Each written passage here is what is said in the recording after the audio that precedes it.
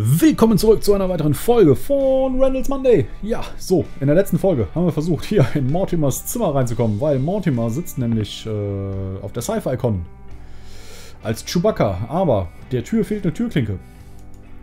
Oh, guck mal, eine Zeitung. Matt ist auf dem Titel. Wird langsam traurige Gewohnheit. Ja, das stimmt allerdings. Vollidiot friert sich selbst ein. Skandal auf der Dr. Fred Edison Street.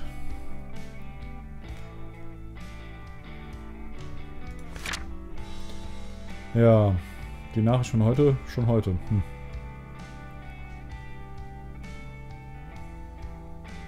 Choose a fucking big television. Ja. Ähm, okay, ich möchte hier gerne wieder raus. So. Ja, irgendwie keine Ahnung. Ähm, ich habe so das leise Gefühl, dass wir auf jeden Fall nochmal zum Psychiater müssen. Ähm, da sind wir irgendwie nicht reingekommen. Und mich beschleicht das leise Gefühl, dass wir auf jeden Fall zum Psychiater irgendwie reinkommen müssen. Schauen wir mal, ob wir das irgendwie hinkriegen. Also, nochmal zurück. Zum Psychiater. Und dann wechseln wir nochmal ein paar Worte mit Ellen! So, äh, wo war denn das nochmal? Ähm... War das dann bei der Sci-Fi-Com? Ja, ich glaube schon. Ich glaube, das war bei der Sci-Fi-Con. War das, war das nicht hier bei der Sci-Fi-Con? Nee, ach Quatsch, das war, das war ein Comicladen. Das war ein Comicladen, ja, ja, das war ein Comicladen. Komme ich hier zurück zu den Bahngleisen? U-Bahn. Ja, U-Bahn. Randall, geh zur U-Bahn. Ähm. Ach, hier, Psychiaterpraxis. Da steht's doch. Randall, Mensch, denk doch mal nach.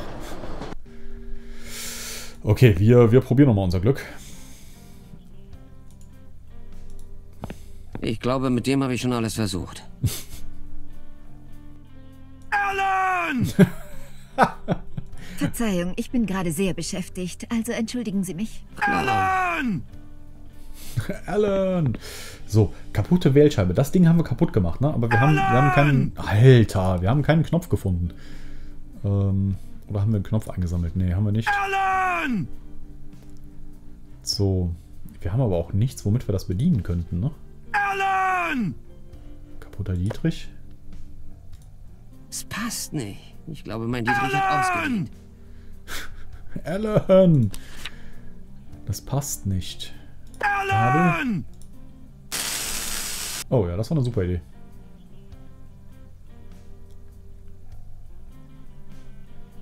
So. Und jetzt? Hallo nochmal, Alan. Verzeihung, sprechen Sie mit mir? Mein Name ist nämlich Robert. Ähm, sicher? Ziemlich sicher, ja. Okay. Alan! Ach, guck mal. Ja. Schön, dich kennenzulernen, Robert. Könnte ich vor dir zum Doc? Machen Sie Witze.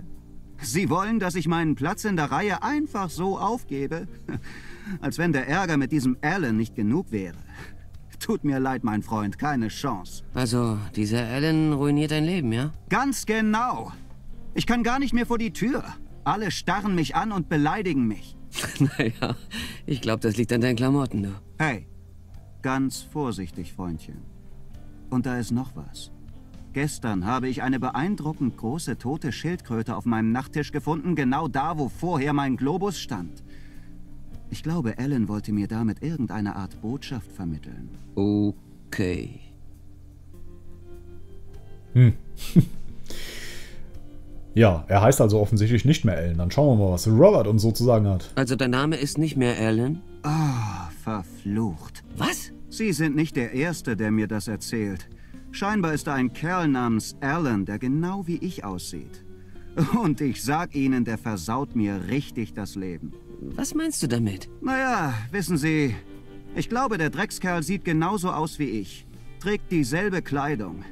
Die Leute verwechseln mich mit ihm. Sie geben mir die Schuld für das, was er anstellt. Und jetzt riecht mein Keller wie Scheiße und ich weiß nicht mal warum. Hm, faszinierend. Ciao, Robert. Ja, wie auch immer, tschüss. Nein, nein! Sekunde mal. Ähm, Ja, was denn? Es ist nur... Jetzt, wo ich darüber nachdenke. Ich habe das Gefühl, Sie kennen diesen Alan. Wünscht es wäre nicht so, aber ja. Und? Ich brauche Sie, um diesem Kerl eine Falle zu stellen. Im Ernst? Scheiße, ja! Dieser Bastard macht mir das Leben zur Hölle. Und das werde ich nicht länger hinnehmen. Wussten Sie, dass er meinen Kanarienvogel entführt hat? Woher zum Geier soll ich das wissen? Und überhaupt, woher weißt du das? Hat er dir einen Erpresserbrief da gelassen oder was? Nein, aber ich weiß, dass das Arschloch bei mir einbricht, wenn ich nicht da bin. Einmal habe ich meine Post auf dem Tisch gefunden und irgendwer hat meine Strom- und Wasserrechnungen mit Schecks bezahlt. Unterschrieben von, raten Sie mal, genau von diesem Alan. Großer Gott!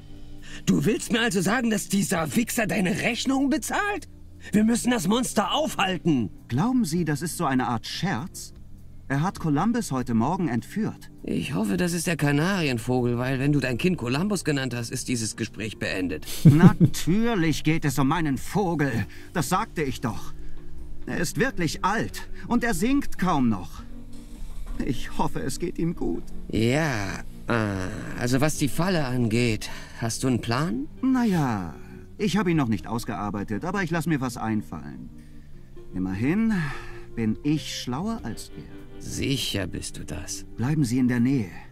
Okay? Klar, mach ich.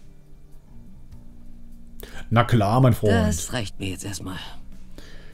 Okay, das heißt, wir müssen nochmal an der Gabel drehen. Alan! Alan!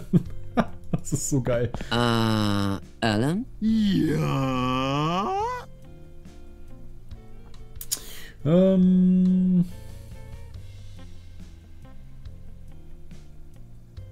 Okay, was nehmen wir denn? Ähm, Lauf! Ah, ich kann das einfach nicht. Robert ist hinter dir her, lauf! Wer? Der Besitzer des Vogels, den du entführt hast. Hey! Wenn das ein Witz ist, war der nicht sehr lustig. Alter, das ist kein Witz. Dein anderes Ich heißt Robert und der hat dich satt. Versteh doch, du hast deinen Kanarienvogel entführt. Und was die Sache noch schlimmer macht, der heißt Columbus. Mein anderes Ich heißt Robert? Das erklärt einiges. Wie zum Beispiel das Tattoo auf meinem... Naja, mein Tattoo. Aber ich habe keinen Vogel entführt. Alan! Im Gegenteil. Ich reinige diese Welt. Also, weißt du, die Welt reinigen klingt sehr zweifelhaft. Pass auf! Als ich heute Morgen aufgewacht bin, habe ich bemerkt, dass, wie immer, jemand bei mir eingebrochen ist und alles total verwüstet hat. Und dann sah ich den... den... Wen? den verdammten Echsen-Illuminaten. Ich musste ihn fertig machen. Oh Gott, jetzt hoffe ich wirklich, dass es um den Vogel geht. Vogel? So sehr Sie auch versuchen, Ihre DNA zu verändern, damit Sie wie normale Vögel aussehen, mich legen Sie nicht rein, selbst wenn Sie in Käfigen stecken. Alan! Nein, mich legen Sie nicht rein. Verstehe. Weißt du es etwa nicht? Sie beobachten uns. Die Kanarienvögel? Alle Vögel verbreiten sich über die ganze Stadt.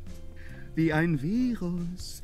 Und in Wahrheit sind sie getarnte Aliens, die den Planeten übernehmen wollen. Hey, du sagtest doch, wir leben gar nicht mehr auf einem Planeten. Tut mir leid. Ich habe gerade einfach zu viel im Kopf. Alan! Was ich meinte ist, dass diese Aliens versuchen, unsere Sternenschildkröte zu übernehmen. Okay, nur fürs Protokoll. Hast du Columbus umgelegt? Wen? Den Vogel. Ich musste es tun. Er hat mich seltsam angesehen. Und ich hab's dir doch erklärt, er ist kein Kanarienvogel gewesen. Okay, und was hast du mit der Leiche gemacht? Weggeworfen. War doch nur ein blöder Vogel. Aber du sagtest doch gerade, er war kein... Ah, scheiß drauf. Rede weiter. Naja, das war's eigentlich. Alan! Hab ihn einfach weggeworfen. Diese Bastarde verdienen kein anständiges Begräbnis. Ja, natürlich nicht. Ja.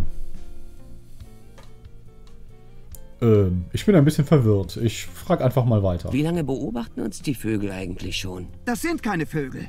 Das sind extraterrestrische Wesen, die die Form harmloser Tiere angenommen haben, damit wir sie nicht verdächtigen. Sie sehen alles. Und das schon seit Urzeiten. Und diktieren uns, wie wir leben sollen. Ich weiß. Du glaubst mir nicht. Ich glaube nur an das fliegende Spaghetti-Monster. Ja, das fliegende Spaghetti-Monster, genau. Ah, Naja, erzähl mir doch mal mehr von diesen Illuminati. Ja? Tja, das ist ein etwas düsteres Thema. Wirklich. Sehr ironisch. Ironisch? Ja, verstehst schon, die Illuminati, düsteres Thema. Muss ich es wirklich erklären? Ellen! Ellen!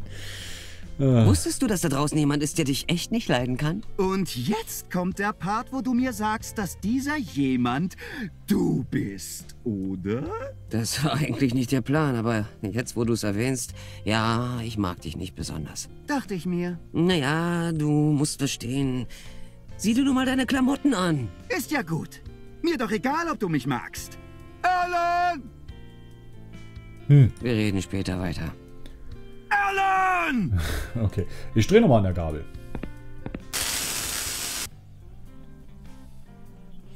So, da ist er wieder, der Robert. Ähm, Robert? Ja? Oh Gott sei Dank.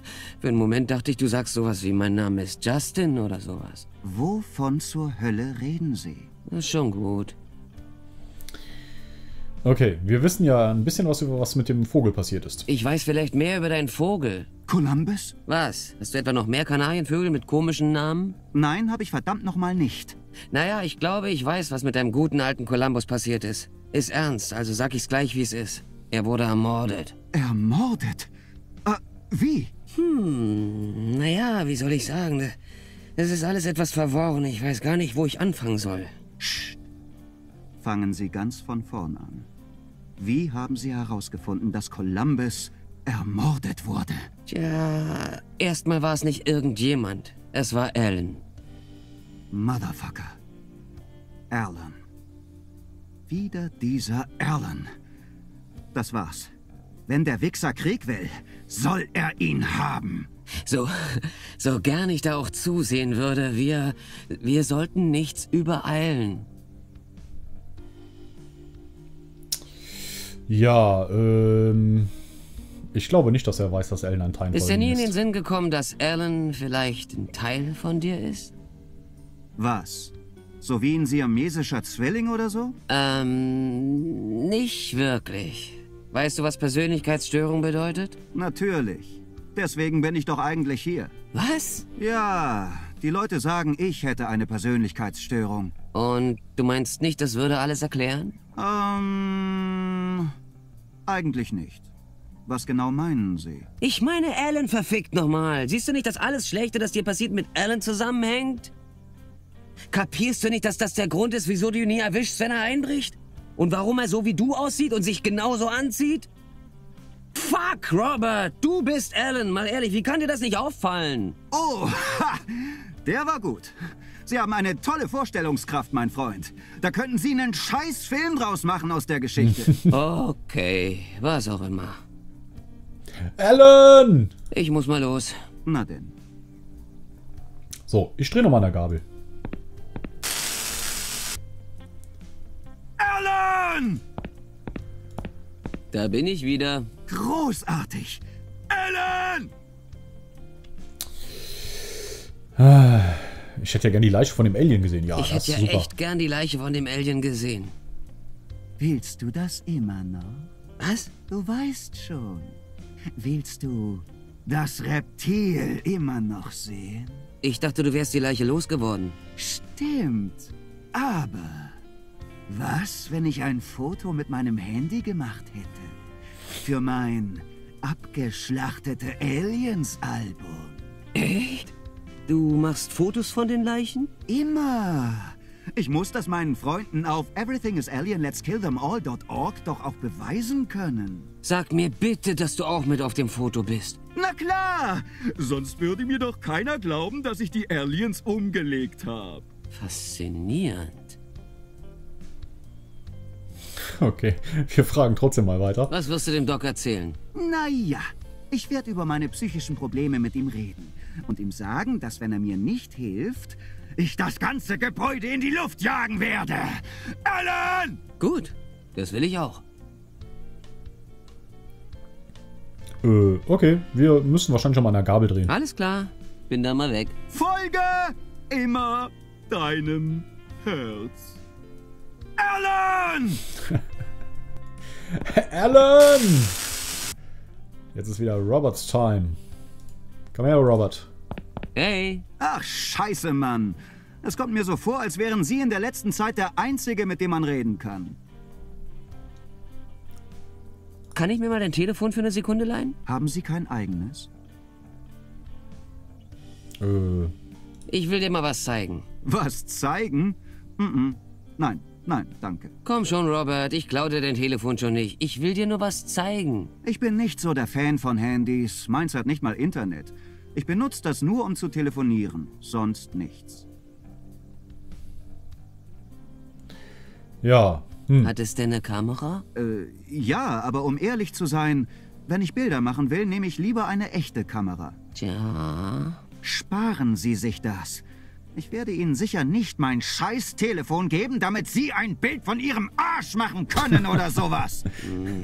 Das wär's dann mit Plan B. Kann ich mir mal dein Telefon für eine Sekunde leihen? Haben Sie kein eigenes? Mein Akku ist alle. Oh. Na gut, wenn es ein Notfall ist, ist das wohl kein Problem. Äh, Lassen Sie es halt heil. Ähm. Das wird wohl für Sie sein. Keine Ahnung, wovon du redest. Oh, oh, oh, das? Nein, nein, nein, nein. Das Handy gehört meiner Schwester. Ich, ich habe wohl das Falsche mitgenommen. Jetzt gehen Sie schon ran. Das ist ja peinlich. Okay, erwischt. Und das gebe ich nicht gern zu. Schon gar nicht gegenüber jemandem, der so angezogen ist.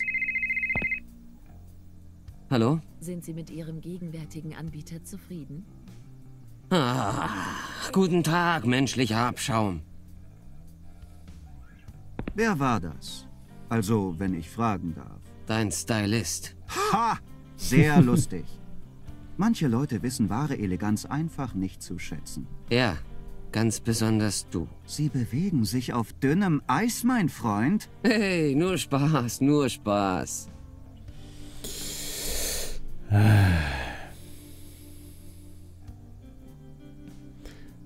Okay, ich würde sagen, an dieser Stelle machen wir mal nächste Folge weiter. Äh, ich befürchte nämlich, dass dieser Dialog zwischen ähm, Randall, Robert und Alan noch ein bisschen gehen wird.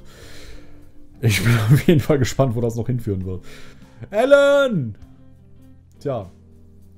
In diesem Sinne würde ich sagen, wenn euch das gefallen hat, Däumchen hoch, äh, Kommentare und so weiter und so fort. Und dann sehen wir uns bei der nächsten Folge von Randall's Monday wieder. Bis dahin, ciao!